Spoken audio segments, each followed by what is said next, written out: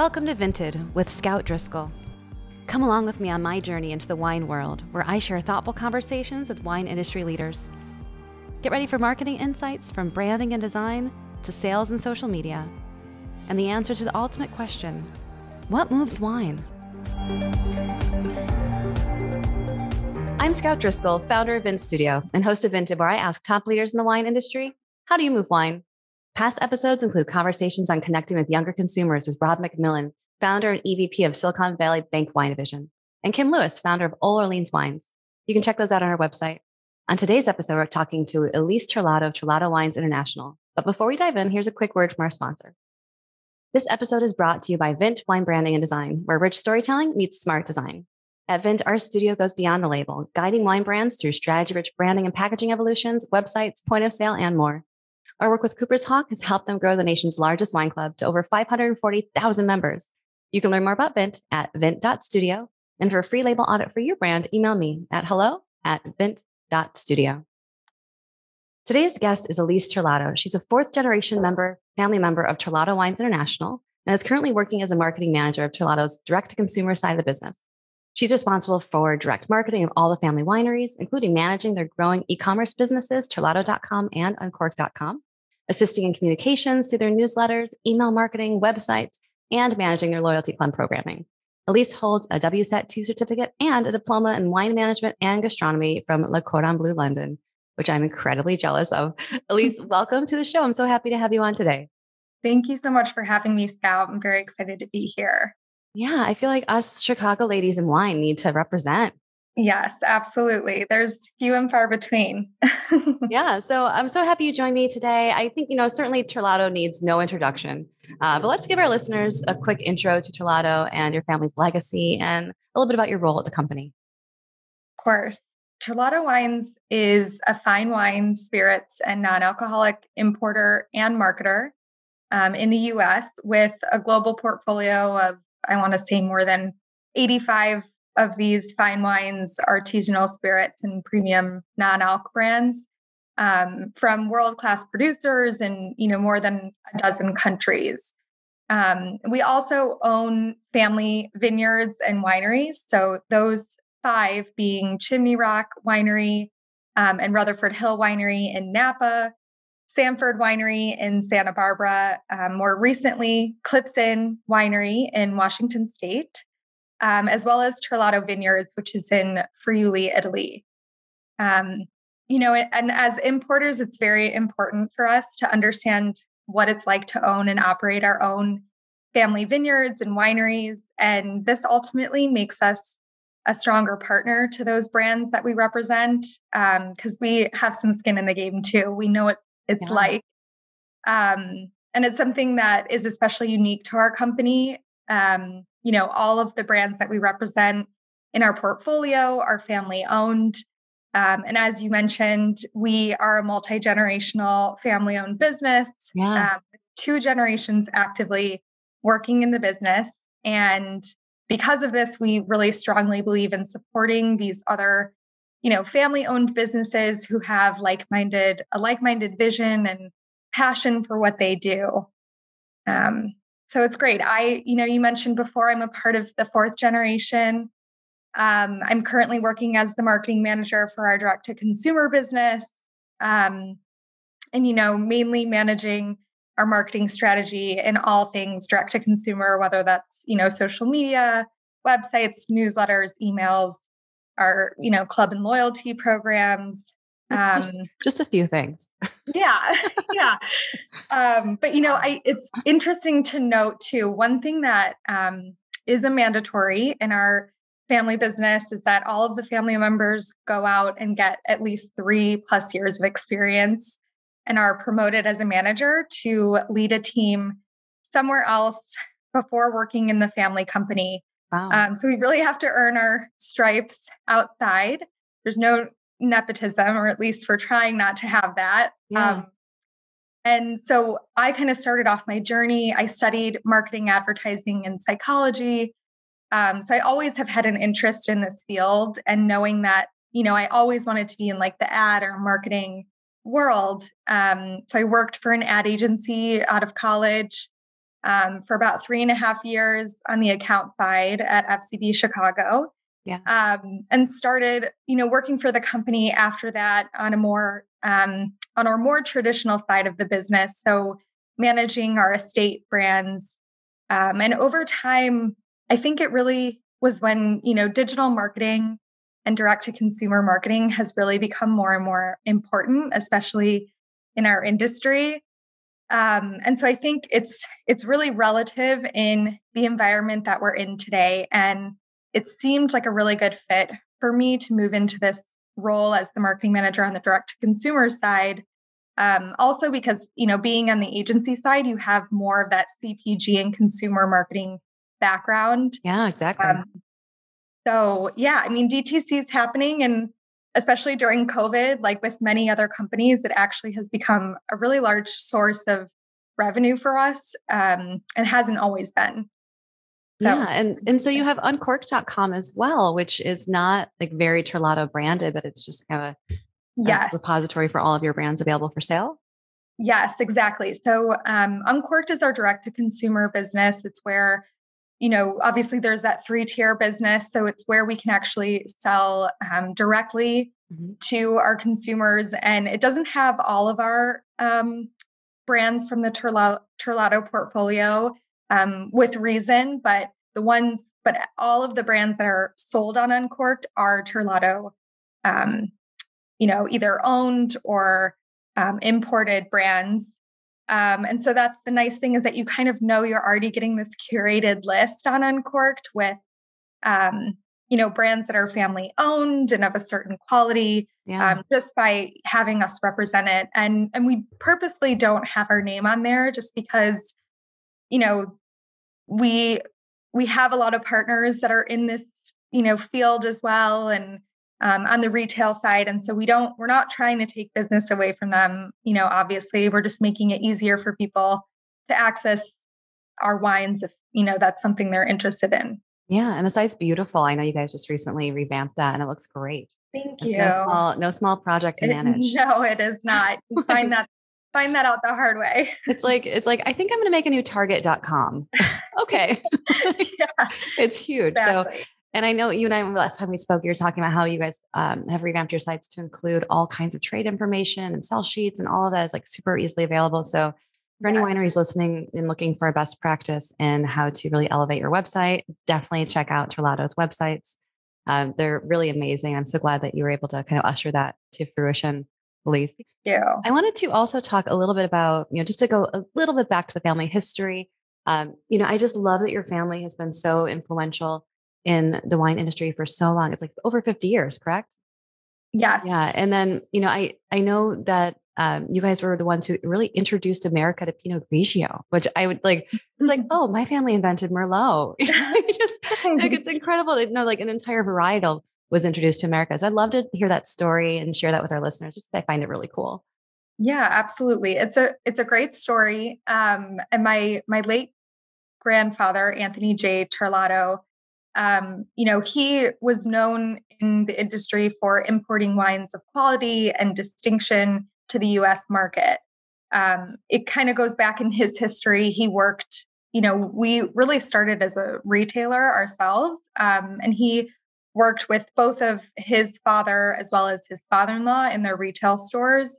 Um, so he was understanding like that part of the business. And so um, one of the things he set out to find an Italian brand to represent in the US and didn't have, you know, obviously he had done his research, but didn't have too much background. Um, and so during one of his visits to Italy, it was, I think, the year 1979, um, he asked a waiter to order 18 bottles from their menu. Um, wow. And the waiter was, you know, stunned at this point. He's like, who is this guy? Why is, you know, he was alone at the table. Um, and he mentioned that he was coming from America and wanted to find a brand to import. Um, and, you know, I'm sure he became fast friends with the waiter, um, but he found himself, you know, tasting a large selection of wines that the US market had not seen before. Um, and so it was there that he discovered this Pinot Grigio called Santa Margherita. Um, and so he asked the waiter if, you know, he could put him in touch with someone to, you know, give him a contact from the winery. Um, and he went to go visit the winery the next day. And from there, we began importing their Pinot Grigio to the US. Um, and so that's what really makes this story so pivotal to the wine industry. It's, um, you know, maybe why people refer to my grandfather as the father of Pinot Grigio, um, because our representation of that Pinot Grigio both created a luxury brand, especially from a varietal that was not considered luxury at the time, um, but also cultivated and refined an entirely new market, especially for this varietal, um, which was really, you know, not that popular then and sold for very little. It kind of had, uh, you know, certain people looked at Pinot Grigio a certain way as being like not great quality hmm. uh, or tasteless. And so it's interesting because now it's among, you know, the most popular varietals in the US. Yeah. Um, so I think that luxury story, uh, obviously along with pricing, um, that you know we had built around this brand, that Terlato had built around this brand, is really what allowed it to become um, the brand that's known to represent the varietal. Ultimately, you know, it shaped and changed the way that Americans drink, um, especially drink this varietal today. Um, I think it was sold for you know, very, very little in Italy. So, you know, it didn't have that necessarily um, that luxury brand to its name, but bringing it here, I think what's really important about this story is that my grandfather found a way to um, find a need that was in the US market, um, but also reshape that the way that we look at, you know, a certain brand. Yeah. Um, what's even more exciting about this story now um, is that after building and representing this brand for you know 40 years we never quit to find the next best thing for the american consumer um, and this varietal because of that story has you know had really become important to our family so we are always looking continually looking for ways to revolutionize the varietal um, to the next step and it was actually my dad who was in search of uh, you know high quality um, Pinot Grigio that he had found in Friuli Colli Orientali, Italy, um, which is a region that's best known for high quality white wines. Um, this is largely in part because you know of the hillside vineyards versus that flat valley floor. Yeah. Uh, microclimate, you know, as the vines are protected by the Slovene Alps to the north, and then the Adriatic Sea breeze, you know, in the south.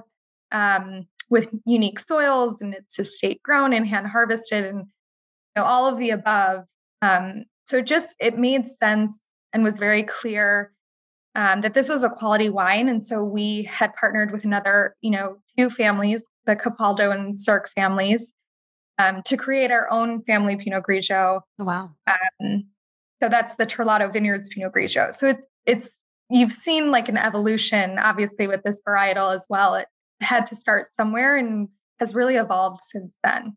That's so fascinating to me. That's so fascinating to me. And then didn't you guys end up working with uh, Riedel on some glassware for that as well? Yes. Um, we have a long-standing um, family relationship and partnership with Riedel. Um, we obviously we loved to support their products both professionally in the office mm-hmm. um, and at home with our family but there was a relationship between my grandfather and um, maximilian's father so um, and you know i think that really helped us to kind of have to start this partnership and relationship um, as in our industry in any industry it's really about fostering the relationships and so at least we had that to kind of go to. Um, but the reason why why we thought of this was we knew that there was something unique about the Terlato Vineyards Pinot Grigio, and as any wine person knows, you know the vessel that you drink your wine from truly makes a difference, especially for quality wines. Mm. And for Terlato Vineyards, taste is the difference. This is our tagline and slogan since the beginning. Um, and so the way that we wanted to emphasize this was actually getting people to taste the difference for themselves, um, you know, in some sort of vessel that they could use. And so that's what led us to Riedel. Um, we worked with the Riedel team to create this specific vessel for our Pinot Grigio that would really emphasize its complexities, where as a normal white wine glass, you know, may not do that as well. Um, and so had never been a specific Pinot Grigio glass before, which was also, you know, a nice thing. It's like we're finding this need um, within glassware as well. So we found this as, you know, to be something that was unique that we're, you know, introducing consumers to. Um, and then Riedel worked, they manufactured the glass for us that was um, personalized with a Terlato logo on the foot of the glass as well. Um, so it was just our way of saying this Pinot Grigio is, is deserving of its own glass. Yeah. I love that. I love that. And I feel like that that partnership was such a huge win for you guys. Um, do you recommend that any other wineries kind of expand their branding through partnerships or influencers? Like how do you guys leverage that and and what's your advice for emergent wineries in that world? Definitely. I would recommend that any winery or company, you know, work with other brands, especially those that um, you know, are well known. they have a well known name um, and a wider net of followers.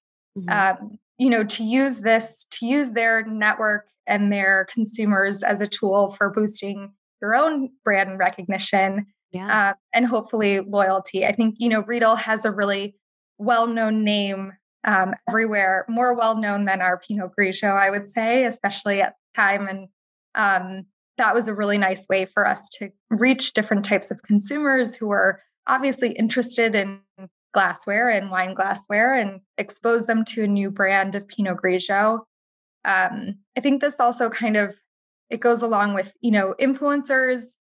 Maximilian is his own type of influencer. He yeah. um, has you know such a great following and such a personality. Um, brings a lot of life, you know, to his brand. Um, which is interesting because I think there are different types of influencers out there. Um, and I think they could only be used to your brand's advantage when it's the right fit for your brand. Um, I do think that like you can't go wrong. There's always good, you know, ways to reach new consumers out of your regular demographic with people who just want to tout your brand name and um, maybe don't have a lot of the same they're very different than your brand. I think that it's you know perfectly fine to expand your user base there as well. Um, we have many influencers who contact me and our wineries on a daily bas- basis to I'm either sure. come to the property or feature us on their blogs or social pages and obviously it can never hurt um, to have these kinds of partnerships um, as long as you don't get fully taken advantage of and it's you know within reason but i think there's a level of partnership and trust that goes into it and if it's someone who's worth exploring you know more with i think um, it's always nice to kind of have those few that you um, that can really elevate your brand. Yeah i think as long as you're when you're choosing an influencer making sure that they fit your brand's personality that they fit your your brand's level of approachability or aspirational side of things. You know, like in the yes. studio, we do so much work on that brand voice. And if you find an influencer that even if they are connecting with a younger audience or a different audience, you know, they could be a surfer. like, right. Eh, right. And, but as long as they have that same spirit that your brand evokes and and connects with people with, then then it's a good fit. You know, not just picking people willy nilly and thinking, oh, they have like 100 million followers and they're gonna boost right. your brands to a bunch of people who can't afford your wine or to a bunch exactly. of people who don't, you know, have any interest in in drinking something that expands their horizons, et cetera, et cetera. Yeah. Um, speaking of digital, so for a winery that focuses on such long established family wineries, so steeped in tradition, I find it really fascinating how your role in some ways is to bring cutting edge technology such a legacy product and legacy brands um, in your opinion, what makes digital marketing so important for legacy brands and for some of these more fine wines? Yeah, that's, excuse me, that's a really great question um, because I think it took us a while to get there. I think the wine industry in general, it maybe has taken a while to get there, especially with, you know, these luxury legacy brands. Um, you know, regardless, it's happening now, the digital world. And um, will only continue to you know in- increase in the future. So I would say that these these types of brands um, deserve the same amount of brand recognition as any other newer brand out there. And um, I say it because I think oftentimes I think we we underestimate the younger millennial Gen Z consumer that yeah. they're just um, but in reality they're they're just as or we are just as intuitive and excitable as any other baby boomer or older gen out there. Um, i would argue that you know they're actually more interested and more excitable and ready to be educated about your brand. Um, certainly more interested online you know like i yes, don't feel like my absolutely. my mom and dad aren't you know re- discovering new wines online and yes. I, I think right there's more platforms to reach these younger consumers because they're they're there they're on those platforms. And I I think oftentimes like people maybe dumb this our generation our the younger generations down a bit by saying they're not as interested in luxury or quality. Um, and I think I just think that's far from the truth. We noticed during COVID and even, you know, as restrictions had lifted, that more people and more young people were more eager to buy high quality, high priced luxury wines. Um, wow. And so I think it's just this mentality of you know, I'm out of quarantine. I'm ready to live a life worth living. I'm going to drink the quality wines. I'm going to go to the high end restaurants. You know, yeah. Um, it's like this European mentality is that just how to live life to the fullest. And so just kind of bringing it back to that, you know, making it digital. Um, I think having our brands represented, I don't, I think for a long time, the perception was that it maybe dumbed the brand down or it hadn't been done for so long, it doesn't need it now. Um, but we, you have to reach consumers where they are. And yeah. the younger consumers are online, they're on their phones. Um, you know, and all it takes is the click of a button. If you have your brand on a direct to consumer site, um, it gives your brands just one more outlet or platform that to have your wine sold. And I just think that's so important, um, you know, for any brand to do this, to have your wines readily available. Um, because buying online is easy and it's quick and it could literally be done in five seconds by clicking an Instagram ad. Um, and as crazy as that may seem, you know, it's it's reality right now and yeah. how people are finding brands. Um, and so this is really the reason why we've invested so much in our digital marketing recently. It took a little bit. Um, I think, as I mentioned before, like as an interest, as an industry, we're probably a little bit, we are behind. Um, but I would say that, you know, we really wanted to focus on putting this investment um, because we knew this is the future. And that's why we've optimized like our website, terlato.com, and our direct to consumer website, uncork.com. Um, we'll soon be inputting a market, a marketing media plan with an agency that will help our messengers help to further our message and get it out there. Um, you know, with some programmatic advertising and really, you know, broader marketing and targeting. Um, and we're also launching a subscription program on our direct to consumer site so that you nice. can, you know, regularly receive these wines right at your doorstep. And there's going to be, you know, a little bit room for personalization there as well. Um, but that's really what these younger people want. They want to be able to personalize the experience. They want to be able eh, to, you know, do it in an easy way. You know, a lot of people are only buying online now. They're not you know walking into a store or you know having to deal with other you know salespeople. Um, so i think the most important thing to really know as you're doing this is to continue to you know understand who you are um, especially for those luxury you know legacy brands um, and what can you do for people that you know someone else can't? What is your benefit whether it's as a product or a brand in general, as an e commerce website in general, so that you do stand out from the crowd. Yeah. You know, my, my last episode was with Brian and Kyle from Drinkubator, and they are exclusively digital and they're bringing insights from all these other industries into uh, the wine world and the spirits world. And so, if anyone wants to learn more about digital marketing tactics. Uh, we played a little game called How the Hell Do I Leverage That? it was like, all right, guys, email marketing, go. How does a winery leverage that? Okay. How about, you know, retargeting? How the hell do they do that? So it was it was really fun. So so if anyone wants to hear more about digital marketing tactics, you can definitely check out our latest episode with Drinkubator uh, for for some fun some fun ways to work through that. Um, let's move on to a little bit more of you know some of your family wineries and the ones that you manage. Uh, I would love to hear more about them and kind of what makes them unique. How you guys decided on these wineries or these vineyards, and just tell me a little bit more about about that. Yeah, absolutely. Um, so technically, I would say for our Terlato.com site, we um, manage all of the brands on this site to make sure that they're, you know, updated um, in all of the brands in our portfolio. Um, but when we talk about direct to consumer side, that's those are the five wineries that um, I had mentioned earlier. So the main ones that I work on are the ones that are in Napa. So Chimney Rock Winery, Rutherford Hill Winery, um, as well as Sanford Winery in Santa Barbara, um, and Clipson in Washington State. We've not, um, we don't have as big of a team there right now. It's a newer brand that we've taken on, but um, you know, in the wineries, Chimney Rock, Rutherford Hill, and Sanford, we have a winery as well as vineyards and tasting rooms.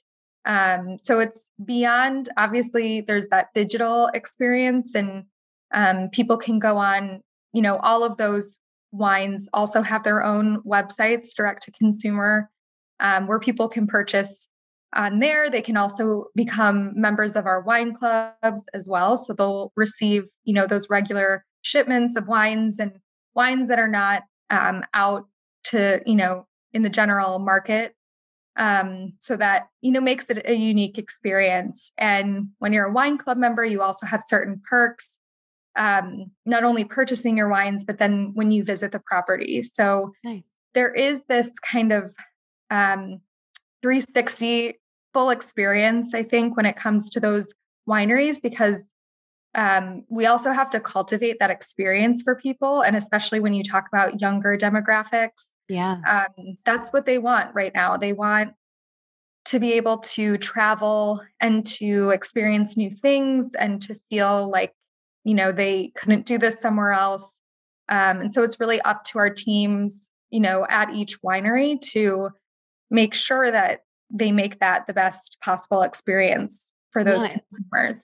And I feel like the way younger consumers experience Napa versus older consumers is so different. And I know a lot of wineries have struggled in their tasting rooms. Like, how do we provide, you know, kind of that that pin on the lapel experience for boomers and the Instagram experience for Gen Z and yes. millennials? And and it's so interesting how you navigate that that sea of connecting with younger consumers.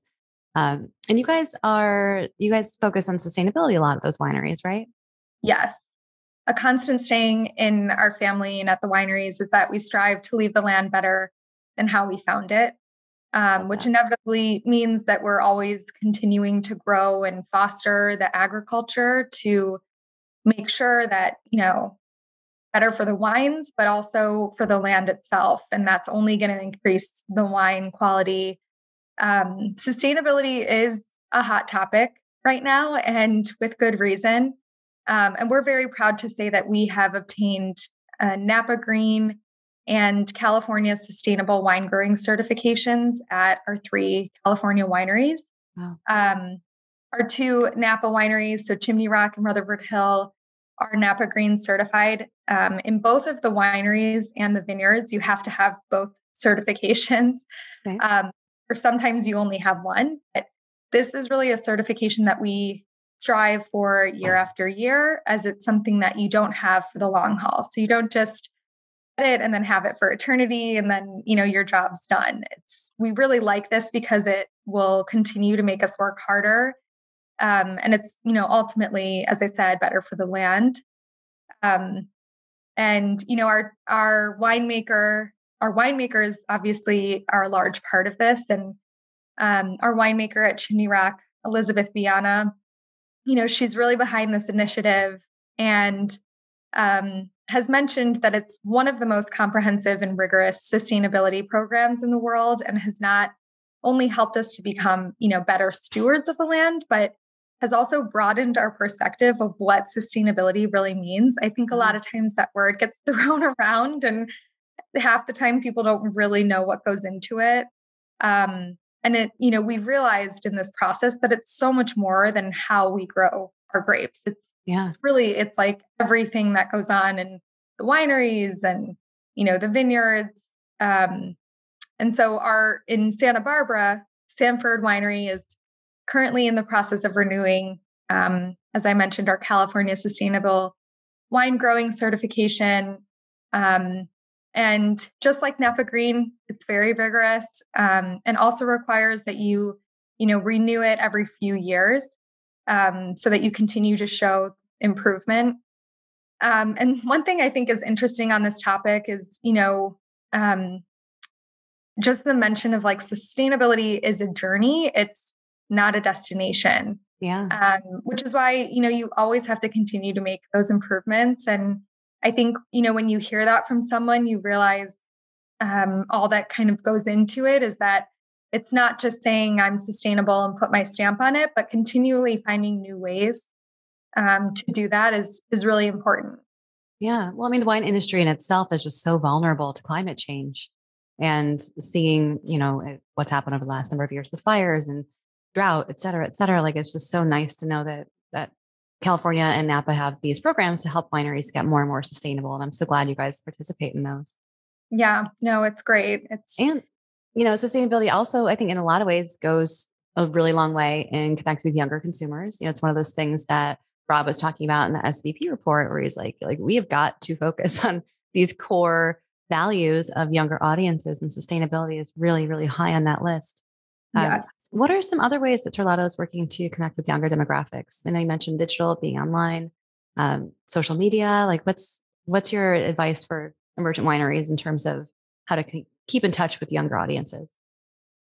Yeah. So, you know, obviously, we're no experts here. Um, we're fully aware of the things that are happening or trending right now with younger generations. And, you know, we realize that there's a lot more that we could or should be doing. But, you know, obviously, as you had mentioned, striving to continue to be sustainable in our wineries is number one. Um, as well as I think what what kind of comes with that is transparency um, from a brand is really you know important for younger generations for their brands to be fully transparent about what's in the product where it's from you know what goes into it um, if you have a quality product it has to be worth it to pay that amount of money um, so what makes it quality you know people care i think a little bit more now about where the things that they're you know buying are coming from Totally. Um, and I think that just kind of falls into that whole idea of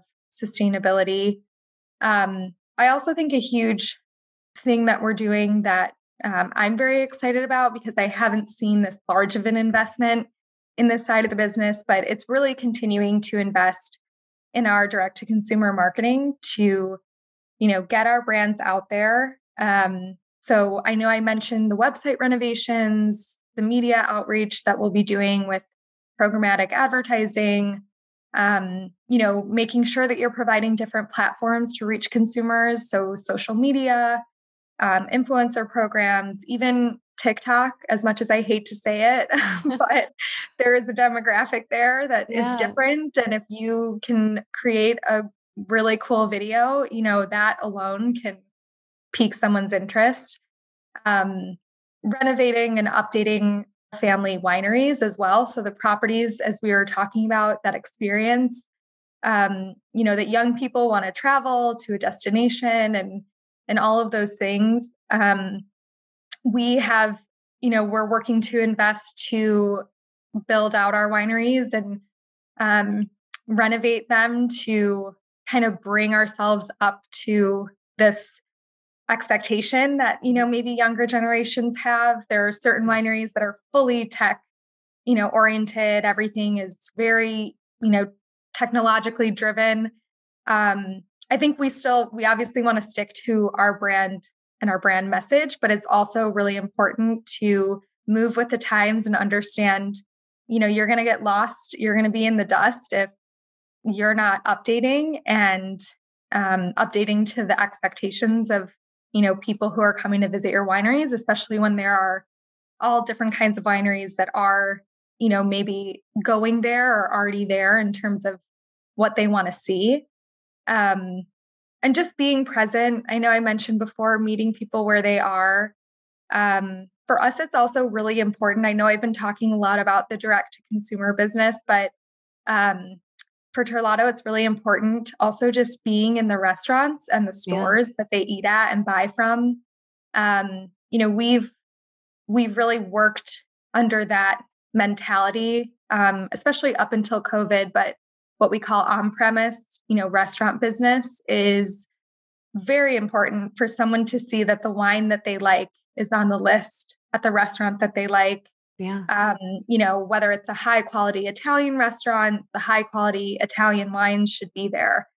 Um, as well as, you know, in the retail stores, because people want to be able to know where they can find your product and have it re- readily available.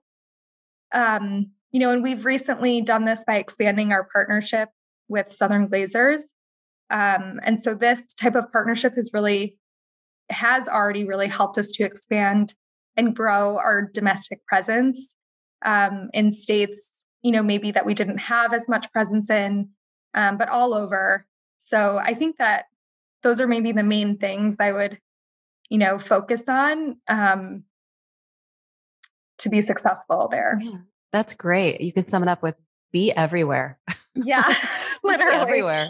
Yeah. Uh, and I, I mean, I feel like you just answered this question, but I always wrap up these podcasts by asking my guests, you know, what is your single best advice for moving wine, increasing sales? Like, if you had to pick one thing from that list, what would it be? I would say, if it's one line, I would say um, persistence is key in anything you're doing. So. Continue to be persistent, never stop, even when it seems like it's not going to work or someone maybe isn't interested in your product. Don't give up. Um, good things will come to those who wait, um, which seems so obvious, but you know, a lot of entrepreneurs and um, you know, I think of my grandfather in a lot of ways have this hustler type of attitude and mentality that you know um, when you need to sell something, if someone says no, find a way to make them say yes. Mm-hmm. Um, and so a good tip that I hear from, you know, the sales side of my family, my brothers and sales and sister was, and my dad um, have all kind of said, you know, a good tip to selling is telling the buyer how it's good for him and his program, not, you know, how it's good for you and what it's going to do for you. Make it about, you know, him or her. And yeah. Um, so yeah, I think that's that's probably my one piece of advice. I love it. Never give up. Yes. Never give up. and yeah. it's so funny because I'm, you know, it's it really is in line with a lot of the advice other guests have given. Where I'll, I'll say, you know, like, how did you get all this distribution? And I'm always, I'm always kind of expecting someone to be like, here is the key. like, yeah. Everyone right. listening, like, this is how you get, you know, into Target or whatever. And right. and every single person's like, just, I just worked really hard yeah, no, and you'll find for a long time. No, yeah. right. There's no yeah. one answer. Like it's hard to say this is how we did it. Yeah. Especially in the wine industry, I feel like it's ever changing. Um, and as cliche as it sounds, it really is like, you know, work hard and continue to be persistent. You know, there's some wine buyers that are harder than others, or, you know, more picky than others but as long as you continue to you know grind it out and stick to your instincts you know, hopefully it it sticks. I love it. Awesome. Well, we've been talking to Elise Terlato of Terlato Wines International. Elise, where can people learn more about Terlato and connect with you? They could go to our website on terlato.com. Um, and to connect with me, I'd be happy, um, you know, for anyone to reach out via email. My email is terlatoe at twg.com. I so Awesome. Well, that's all for this week's episode of Vinted. As always, you can head over to Vint.studio to sign up for our email list, as well as check out all the links and resources in the show notes. And if you enjoyed this episode and you'd like to help support the podcast, please share it with others, post about it on social media, or leave a rating and review. To catch all the latest from me, you can follow me on Instagram at, at Scout Driscoll and on LinkedIn. Thanks again, everyone, and I'll see you next time on Vinted. Tune in for the next Vinted. Subscribe today. For future episodes, marketing advice, and more, follow me on Instagram at Scout Driscoll. Learn more about Vint's Design and Branding Services for wineries at www.vint.studio.